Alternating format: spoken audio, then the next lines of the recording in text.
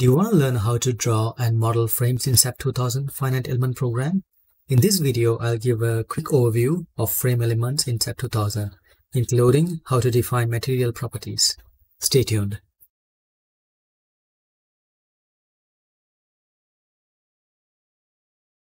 In SAP 2000, using frame elements, we can compute the effects of biaxial bending, torsion, axial deformation, and biaxial shear deformations of a frame element. So a frame can be drawn in multiple ways. So either you can select it from this quick bar here. If not, you can go to draw and select the multiple options which are available here as well. So first we'll look into the draw frame option. Once you click, click that, so it'll open up a dialog box which has different options. So in this first case, we'll go by the default. So here you'll be able to define type of frame which you are going to draw.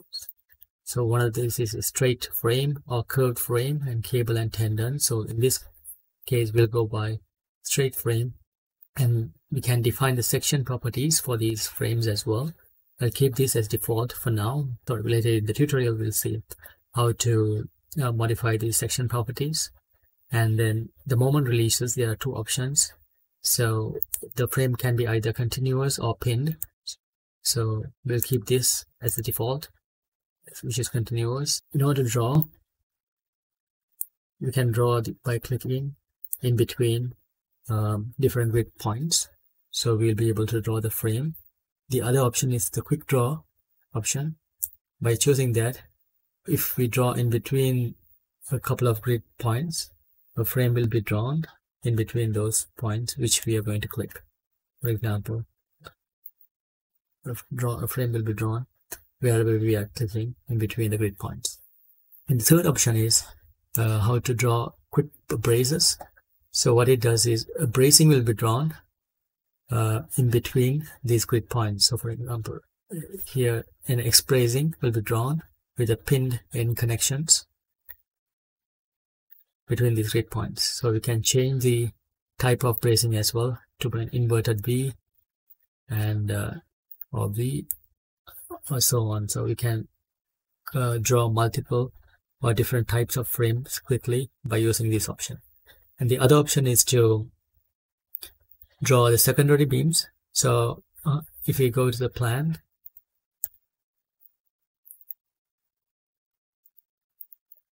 and to a particular level.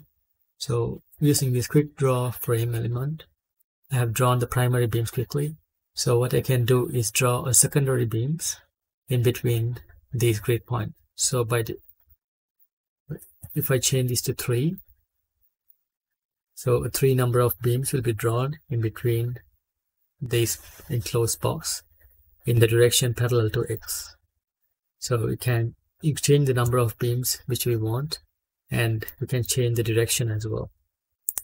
So here we have drawn four secondary beams parallel to Y direction. Next, we are going to look at the frame properties. So by going to set uh, display options, so you can see the labels uh, of the frame. So these labels are assigned by the program by default. So each of these frames has been assigned with a number which is specific for that particular frame. So for example, this is frame number 53 and so on. Similarly, you can see the end releases for these frames. So whenever there's all these, whenever these points are continuous, that means these points can take a moment and uh, it doesn't have a moment release.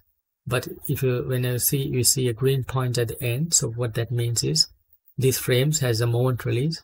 So that means these frames or these beams are going to act as a simply supported members when you go and select the local axis you'll see. So for this particular frame the local 1 axis is along the frame and local 2 and 3 is vertical. So that's the local axis for the frame.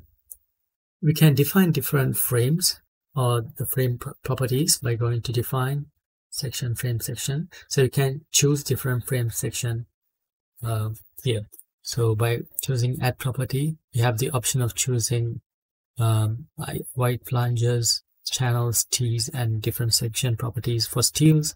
Similarly, for concrete, you should be able to select rectangular, circular, and and the different properties as well. And then there are there are um, other materials as well as a built-up steel section. You should be able to see the built-up steel section as well. And then by choosing the other, you have the option of selecting a, a section design as well, where we, which you should be able to um, draw a particular section which are non-standard and we can define and um, look into that properties as well. For this particular example, I'll keep the properties as steel. So here I'll choose the I section and I'll give a name for that. And then here you should be able to alter the material properties based on the example. And also one other option is to import from the default properties. By choosing the import properties, here you have a bunch of options where you can choose from different uh, standards. So for example, this is Canadian standard and Chinese and uh, US, Indian and so on. So I'll choose this Canadian standard here. For example, I, I can choose a wide flange here W section so here the automatically the properties will be populated. So for example, if I have to change the property of this particular section, I'll choose this and assign properties in frame section. And here I should be able to change that particular frame into a different section. So now that this frame has changed into a different section, so while the others remain the same. So that's how you um, define or change the section property. Also by just choosing this and right clicking here, you can you should be able to modify here as well. So you go to the section property, you choose this particular section and modify properties. And here you should be able to define a different material type for each section as well.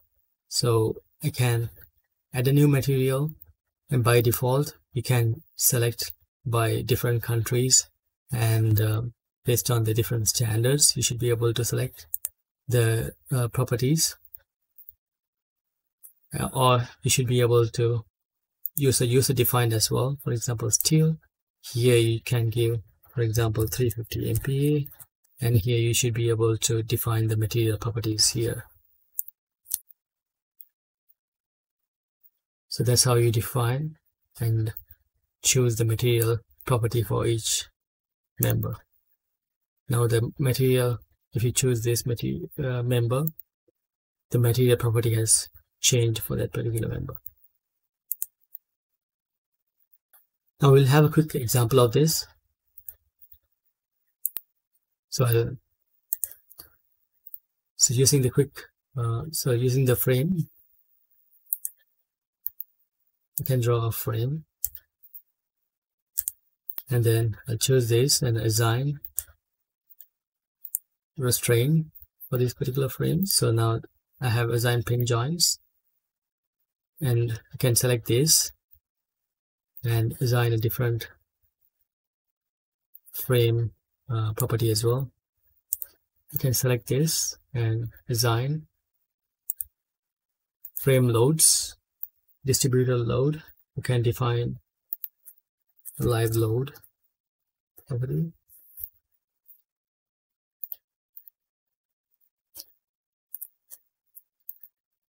So a live load is applied on the frames. And now I have saved the model and if I run it,